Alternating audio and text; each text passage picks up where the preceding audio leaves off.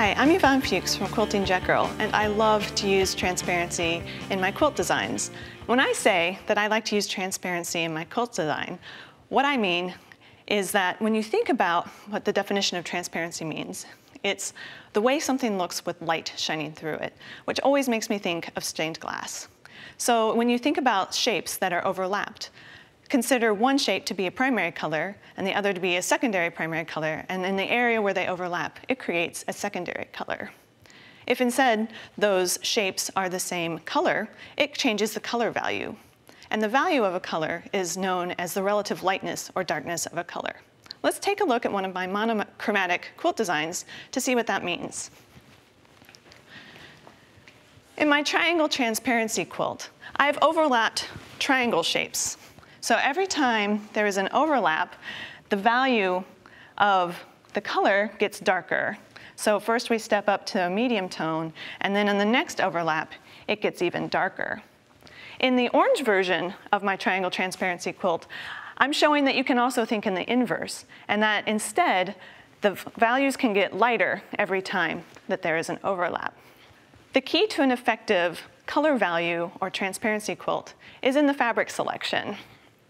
So here I have an initial fabric pool. And when I look at these colors, the values are all the same. Sometimes you can't see it with your eye though. So what I suggest is taking your fabric selection and laying them out and taking a very well-lit photograph. Well-lit means that it's in natural light, and when you look at it outside of natural light, it looks the same to your eye as it did in the sun. Then you're going to take that photograph into your photo editing software of your choice, and you're going to turn it into grayscale. So make the photograph black and white. If you're using a mobile device, which is really popular these days, I don't suggest using a filter. Instead, go into the photo editing software and change to black and white. It's an option in your mobile phones. You can do it. So in this fabric selection, which was my initial fabric selection, the colors are too close together in value, and you're not going to see a change from one to the other. So instead, I pulled out what I thought would be my mid-value fabric. I took my light value, I made it my new mid-value, and I added a new light value fabric. And so now we have increasing steps of color value across this fabric selection. So how are we going to take these colors and turn it into a King's Cross block? It's pretty simple. You'll start by making four half square triangles using your favorite method, however that is. And you will trim them square to six and a half inches. So you'll have your half square triangle units and then you'll trim them. Then, and this is from your light and your medium tone fabric. Then you will create eight three and a half inch squares from your darkest value fabric. And on the wrong side of that fabric, you're going to mark a diagonal line from corner to corner. You'll place two of your three and a half inch squares on opposing corners of your half square triangle block, and we're gonna sew a line to create a stitch and flip unit. So let's go to the sewing machine to sew that. When I'm sewing stitch and flip, I like to sew one needle width closer to the corner of the edge of the fabric.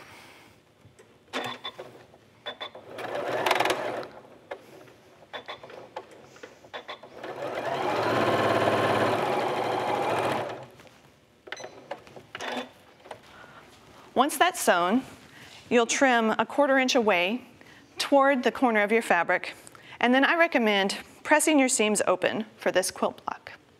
Once you have four of your units together, we can take a look at how the King's Cross block comes together. The traditional method is to rotate the blocks to create a pinwheel effect, like so. And that makes a really nice quilt block. But to create a really cool 3D effect using these color value tips, we will rotate two of these blocks 180 degrees, and then a really fun and striking 3D pattern appears. Once the quilt blocks are sewn together, we have a 12 and a half inch unfinished King's Cross quilt block. So let's talk about how we can use this block in some quilt designs. In the first layout that I'm showing here, it's a very traditional quilt layout. We're using a row of three by four uh, grid of blocks to create a traditional quilt. In the second option, we rotate every other block. This creates a fun secondary pattern but it's still in the traditional realm because we're using very grid-based and block-based design.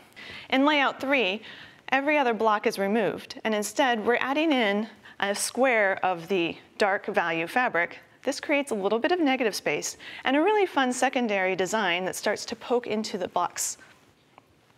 In option four, we're moving off the grid. So we take the quilt blocks and we slide them over to align the units that have the same colors within them. And the final option that I'm showing here, option number five, we're using the rule of thirds to draw your eye to the King's Cross blocks that are recolored in different ways. And we're also altering the background color so that the blocks fade into the background to create a fun graphic quilt. Another option is this mini quilt that I'm showing here that I call cross-check. And instead of just using negative space, we're also extending the elements of the quilt block into that negative space. To create a cross-check mini quilt, you will take one King's Cross block, and then you'll have two additional subunits from your King's Cross block.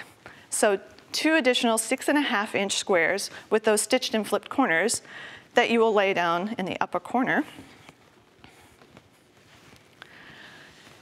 Then you will take two six and a half inch squares of your dark value fabric and one light value and one medium value fabric, three and a half inch square, and you'll do stitch and flip on one corner, and you'll add them.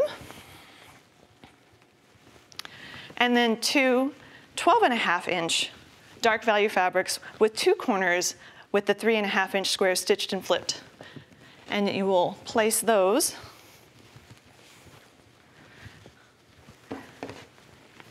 And if I get my blocks rotated the correct way here,